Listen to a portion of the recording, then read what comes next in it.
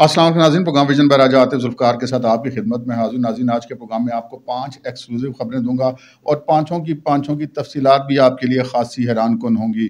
सबसे बड़ी और एक्सक्लूसिव खबर तो यह है कि एक बड़ी शख्सियत को एक्सटेंशन देने का फैसला हो गया। सब लोग राज़ी हैं, सिर्फ़ एक हाँ का इंतज़ार है। वो कौन सी शख्सियत है जिसको एक्सटेंशन दी जा रही है और वो कौन सी शख्सियत है जिसकी हाँ का इंतज़ार है? ये आज के प्रोग्राम में आपको बताएँगे और फिर जनाब गुस्ताख जजों का भी कुछ बंदोबस्त किया जा रहा है। कैसे किया जा रहा है, कहाँ किया जा रहा है, किस तरह किया जा रहा है, ये आपकी खिदमत में पेश करेंगे और फिर मलिक रियाज बिल आखिर उनकी कुर्बानी का भी वक्त आ गया है। वो कैसे आ गया है, ये भी आपको बताएँगे।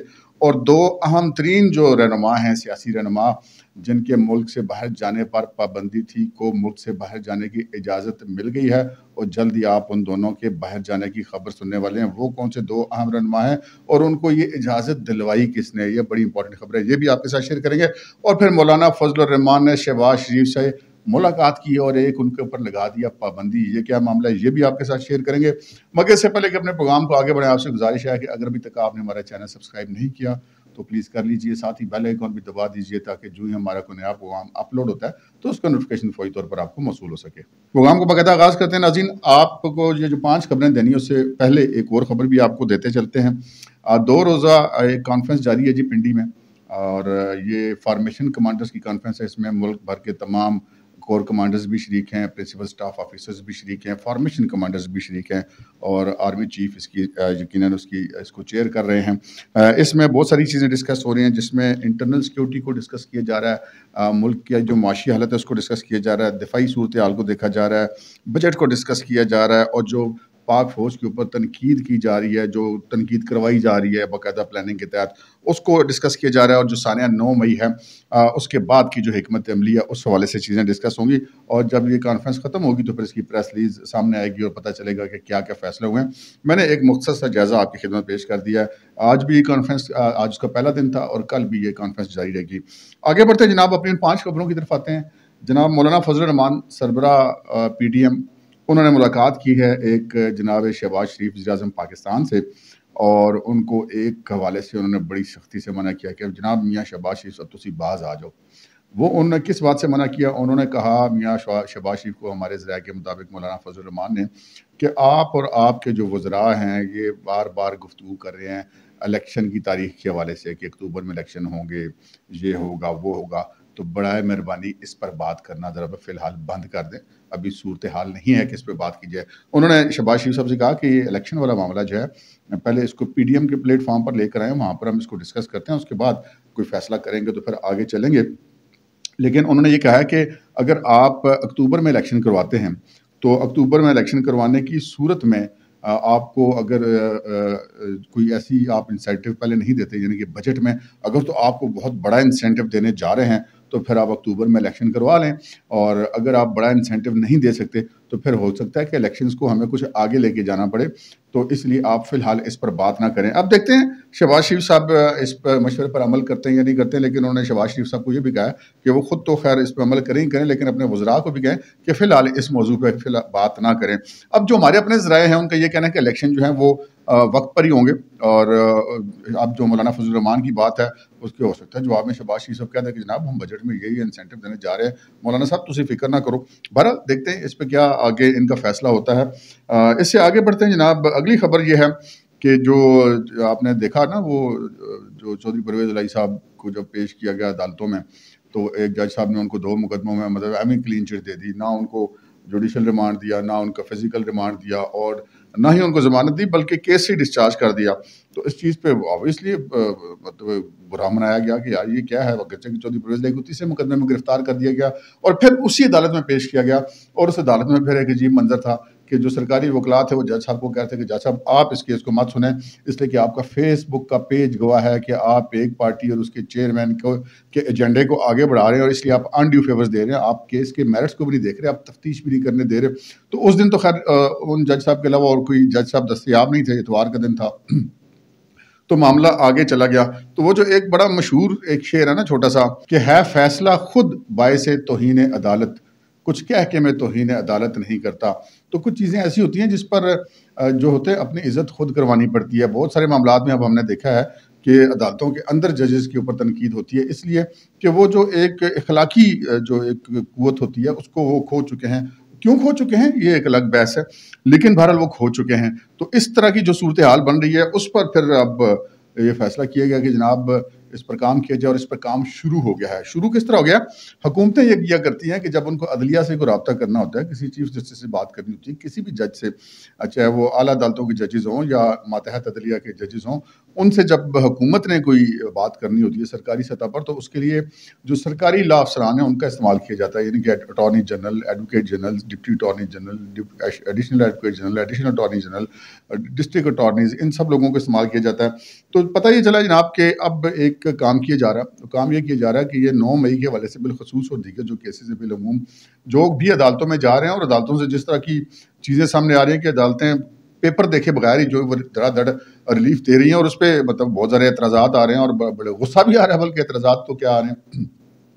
अब जज साहब कोई फैसला करते हैं उस पर लोग तिल मिला ही सकते हैं ना, आम आदमी तो कुछ नहीं कर सकता। लेकिन यहाँ पर यह फैसला हुआ कि जनाब ये जितने जो सरकारी ला अफसरान हैं ये इन तमाम जजेस से मिलेंगे। चाहे वो कोई मुल्क की किसी अला अदालत के चीफ जस्टिस है चाहे वो मातहत अदलिया के ट्रायल कोर्ट्स के जजेस हैं, मजिस्ट्रेट लेवल के जजेस हैं, उन तमाम से मिलेंगे और वो जो तमाम सबूत और शातें उस मुकदमे से मुतल हैं, वो वीडियोस की सूरत में हो ऑडियोज़ की सूरत में हो, दस्तावेज़ात की सूरत में हो, जियो फेंसिंग की सूरत में हो या किसी किस्म के डाटे की सूरत में हो, वो तमाम के तमाम उन जज साहबान की खिदमत में पेश की जाएँगी और उनके साथ जो हैं जो उस इन तमाम मामला का मुदई फरीक है, उनके लोग भी शामिल होंगे। तो उनको जजेस की खिदमत में गुजारिश की गई कि जनाब ये सूरत हाल है तो मेहरबानी करें। आप मतलब इस तरह ना करें कि आप केस के मेरिट्स को आप देखें ही ना और उसके बावजूद आप लोगों को देखे बगैर ही रिलीफ देना शुरू कर दें। तो आप कम अज़ कम तफ्तीश तो करने दें लोगों को। आप जब वो तफ्तीश मुकम्मल हो जाएगी, आपके सामने मवाद आएगा तो फिर आप उसका फैसला कर लीजिए। लेकिन इब्तदाई दौर पर हम आपको ये मवाद मवाद दिखा रहे हैं कि आपके पास जो केस आ रहे हैं, उनमें ये ये मवाद इन लोगों के खिलाफ मौजूद है। तो फिर आप मेहरबानी करें, ज़रा हाथ होला रखें। अब जिन जजेस को तो मतलब समझ आ जाएगी बात कि हाँ यार, ये मामला मुल्की सलामती का है, ये वाकई बड़े जैन लोग मुलजमान हैं और वो जो है वो देख के उसको कहते हैं, ठीक है, हम कोर्ट में इस चीज़ को देखेंगे और इस चीज़ को वो देख के मेरिट पर जो मर्ज़ी फैसला करें।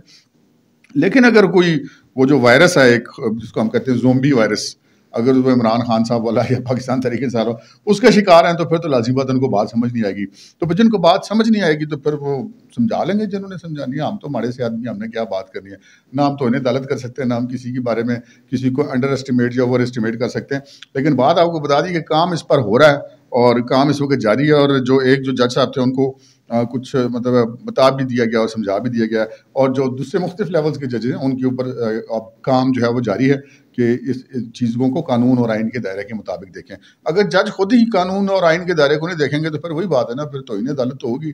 किसी ने क्या इज़्ज़त करनी है? अब इस तरह के तो ऑर्डर से काम नहीं चलता जैसे आज एक जज साहब ने ऑर्डर कर दिया कि जनाब ये हमारे जितने रिमार्क्स होते हैं ये नहीं चलेंगे सिर्फ़ हमारा रिटर्न ऑर्डर जो है वो मीडिया चलाएगा। तो भाई भाईजान तुम रिमार्क्स ठीक दिया करो ना गुड टू सी यू और जनाब इस किस्म की बातें अगर करेंगे तो फिर रिमार्क्स तो आएँगे अदालतों में तो ये इस तरह की पाबंदियाँ लगाकर जो अदालतें इज़्ज़त नहीं कमाया करती हैं, अदालतें इज़्ज़त कमाती हैं अपने फैसलों के साथ। तो फैसले, उन, वो फैसले इज़्ज़त का बायस होते हैं, जो कानून और आइन के मुताबिक हों। खैर हमने हम कौन होते हैं जी? जज साहबान को लेक्चर देने वाले। लेकिन हम एक, आपको खबर ये दे रहे हैं कि जनाब, ये काम हो रहा है और इस तरह से चीज़ों को सेट किया जा रहा है, उनको बताया जा रहा है, उनको समझाया जा रहा है। जो नहीं समझेगा, वो फिर उसको खुद जिम्मेदार होगा। खैर अगली खबर की तरफ़ चलते हैं जनाब। मैंने आप सर्च की थी प्रोग्राम में कि मलिक रियाज की कुर्बानी का बंदोबस्त हो गया। अब ये मलिक रियाज की कुर्बानी का कैसे बंदोबस्त हो गया? मलिक रियाज का तो आपको पता है नाम भी कोई नहीं लेता। प्रॉपर्टी टाइकून और एक बड़ी बिज़नेस की शख्सियत और इस तरह इस तरह की बातें की जाती हैं। लेकिन हमारे हमारे पर तो कोई ऐसा पार नहीं है मलिक रियाज का। तो ये एक सूरत हाल है कि जनाब जो अलकादर ट्रस्ट वाला केस है, जिसको one sixty one ninety million pound वाला जो केस है करप्शन का, उस केस में इमरान खान साहब भी मुलजम है बुशरा बीबी भी मुलजम है। और वो चूँकि पैसा तो मलिक रियाज ने बाहर भेजा था ना मनी टर्निंग तो मलिक रियाज की साबित हुई थी। तो मलिक रियाज वाला पैसा जो है उसको बरतानवी नेशनल क्राइम एजेंसी ने जो गैर कानूनी ट्रांसफ़र करार देकर उन्होंने वो सीज किया और हुकूमत पाकिस्तान के हवाले कर दिया और फिर यहाँ पर उसको मलिक रियाज के उसमें अकाउंट में ट्रांसफ़र कर दिया गया। बाहिर ऐसा लगता है कि फिर उसके बदले में मलिक रियाज साहब से अलकादर ट्रस्ट के नाम पे इमरान खान साहब और उनकी अलिया ने मतलब बड़ी लंबी चौड़ी ज़मीन वसूल की। और उस और भी बड़ी खबरें हैं कि मलिक शहजाद शहजाद अकबर ने कितना वसूल किया, फलाने ने कितना वसूल किया, वो भी एक एक अलग कहानी है। लेकिन बहरहाल जी, एक बड़ा ओपन एंड शट केस है। इस केस में जो है एक कोशिश थी मलिक रियाज की और यकीन इमरान खान साहब को भी बड़ा असर होगा कि मलिक रियाज बड़ा सियाना बंदा, उसके हाथों बड़े लंबे अगर मलिक रियाज बचेगा, यानी कि ये केस ऐसा है कि इसमें मलिक रियाज अगर बच जाता है तो फिर बाकी सारे तो खुद ब खुद बच जाएँगे ना कि जो एक मेन मुद्दा ही नहीं रहेगा तो फिर क्या, किस बात की कौन सी सजा किसी और को मिल सकती है? सारा काम पर धुंध में चला जाता है ना शक शुबे में चला जाता है। तो इनकी जो सबसे ज़्यादा इनकी मतलब रियाज साहब की जो दोस्ती या तल्लुक था, वो आसिफ अली जदाई साहब से था। और आसिफ अली जदाई साहब भारत मुल्क की बड़ी ताकतवर शख्सियत जो मौजूदा हुक्मरान इतिहाद है, उसके वो बड़े अहम जो लोग हैं, उनमें शामिल हैं, पहले दो तीन जो लोग हैं। तो उनकी मर्ज़ी के बगैर तो फिर मलिक रियाज साहब को रगड़ा नहीं लग सकता।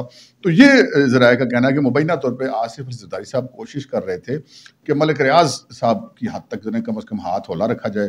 मलिक रियाज के साथ पुराना तलब वो निभाना चाहते होंगे। लेकिन बहरहाल अब ये आसिफ जदारी साहब भी से भी चीज़ों को डिस्कस किया गया होगा। तो उस नतीजे पहुँचते हैं कि अगर मलिक रियाज साहब इस मामले से निकलते हैं तो इमरान खान बच जाएगा। तो इमरान खान का बचना जो है इस केस के अंदर आसिफ रिश्तेदारी को वो कबूल नहीं है। तो बिल आखिर फिर आसिफ रिश्तेदारी साहब ने कहा, जी ठीक है, फिर लगता रगड़ा तो लग जाए तो आसिफ अली जदाई साहब जो है मलिक रियाज की अब कुर्बानी देने के लिए तैयार हो गए हैं। तो मलिक रियाज साहब जो है शायद इस मुल्क की तारीख में पहली दफ़ा उनके ऊपर कोई हाथ पड़ेगा और उनको शायद किसी इस तरह के बड़े केस में शायद उनको सज़ा भी हो जाए। क्योंकि अब अलकादर ट्रस्ट की ज़मीन, वो कई सौ कनाल ज़मीन को मुफ़्त में कोई बतौर मेहरबानी या कोई बतौर किसी जैसे कहते हैं अतिये के तौर पे तो नहीं दी इमरान खान साहब को। तो ये अब एक मामला तो मलिक रियाज साहब की कुर्बानी का तो ये मलिक रियाज साहब की कुर्बानी जो है वो रेडी हो गई है। फिर जनाब एक खबर है बड़ी इंपॉर्टेंट वो ये है कि जनाब दो बड़े अहम रहनुमा मुल्क से बाहर जा रहे हैं। और वो दोनों रहनुमा ऐसे हैं जिनके नाम जो है वो उन लोगों की फहरिस्त में शामिल थे जो मुल्क से बाहर नहीं जा सकते। अब उसमें आपके इल्म में होगा कि वो, हमने भी आपको पिछले दिनों खबरें दी थी कि दो तीन मुख्तलिफ़ किस्म की लिस्टें बनी हुई लेकिन उन, किसी भी लिस्ट में बंदे का नाम हो तो बंदा मुल्क से बाहर नहीं जा सकता। अब उसको हम ई सी एल तो होती है ई सी एल के अलावा भी दो दो तीन लिस्टें होती हैं। तो ये जो दो लोग थे, इनका नाम ई सी एल में शामिल था, आप समझ लें, या बैन वाली लिस्ट में शामिल था। उनमें से एक शख्सियत है जनाब अली जैदी। जो सबक फाकी वज़ीर माही गिरी जो थे, इमरान खान साहब के जो हाल ही में, जिन्होंने पाकिस्तान तरीके इंसाफ को खुदा हाफिस कहा है। एक दिन पहले वैसे वो क्या थे, मुझे माथे पे गोली मार दिया, अगले दिन कहा, जी, मैं तो जानते नहीं कड़ी तरीके इंसाफ। तो दूसरे जो शख्सियत है वो फिर वो जो इमरान खान साहब के बाद जो सबसे ज़्यादा शदोमत से उनका केस पेश किया करते थे जनाब फवाद चौधरी साहब। फवाद चौधरी साहब को बस एक दिन हाईकोर्ट के अंदर उनकी दौड़ लगी है तो उसके बाद उनका सांस फूल गया और अभी तक उनका सांस खड़ा नहीं हो रहा। उसके बाद उन्हें ऐलान कर दिया जी, मेरा कोई तल्लुक नहीं पी टी आई से, मैं सियासत नहीं करना चाहता। अच्छा ये दोनों हजरात जो हैं, इनको बैरून मुल्क ये अभी जाना चाह रहे थे, लेकिन अब ये जा नहीं थे सकते तो फिर बड़ा मसला हो गया। तो इस मसले में फिर एक शख्सियत जो है वो, उसके तल्लक बड़े काम आए और वो शख्सियत है जनाब फवाद चौधरी साहब की अहलिया, हिबा फवाद चौधरी।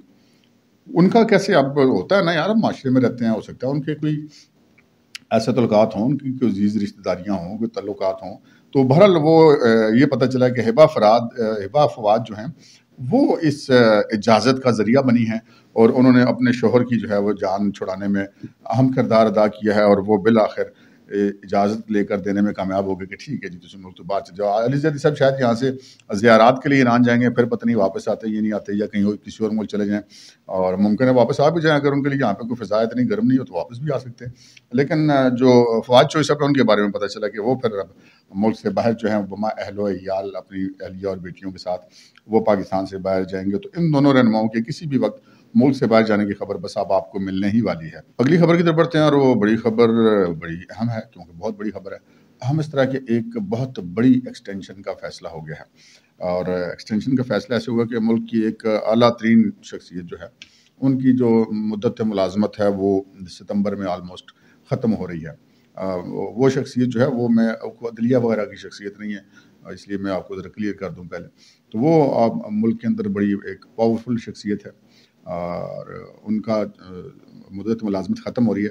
लेकिन ये पता चला है कि जनाब जो हमारे मुल्क के इस वक्त हुक्मरानों की अक्सरियत है वो ये चाहते हैं कि वो आ, उनको एक्सटेंशन दी जाए और वो अपने मौजूदा जो उनकी जो उनकी पोस्टिंग है उसके ऊपर वो काम करते रहें। इस हवाले से जो उनके प्लस पॉइंट्स बताए जा रहे हैं वो ये पता चला कि ये जो एक हाल ही में एक दहशत गर्दी का बहुत बड़ा एक मुलम था शम्बे उसकी गिरफ्तारी में उनका बड़ा इंपॉर्टेंट रोल था, वो उनके क्रेडिट पर है। और फिर ये जो नौ मई वाला वाक़ हुआ था, उस वक्त मुल्क से बाहर थे आर्मी चीफ तो उस सारे मामले को को हैंडल करने में उनका बहुत ज़्यादा अहम किरदार था और उसके अलावा भी इंटरनल सिक्योरिटी के अंदर उनकी बड़ी ग्रिप है और इस चीज़ को कहा जा रहा है कि जी उनकी अभी ज़रूरत है तो उनको कम अज़ कम एक साल की उनकी मुद्दत मुलाजमत में उनको तोसी दे दी जाए और जो मौजूदा उनकी पोस्टिंग है, जो मौजूदा उनकी जिम्मेदारियाँ हैं, वही उनको जारी रखने का कहा जाए वैसे आमतौर पर वो जो पोस्टिंग होती है, तीन साल की होती तो उनके दो साल ही हुए थे। तो अगर वो एक साल उनको एक्सटेंशन मिल जाती है तो वो वहाँ पर आ सकते हैं। बुनियादी तौर पर तो ये जो इख्तियार है वो वजी अजम का होता है और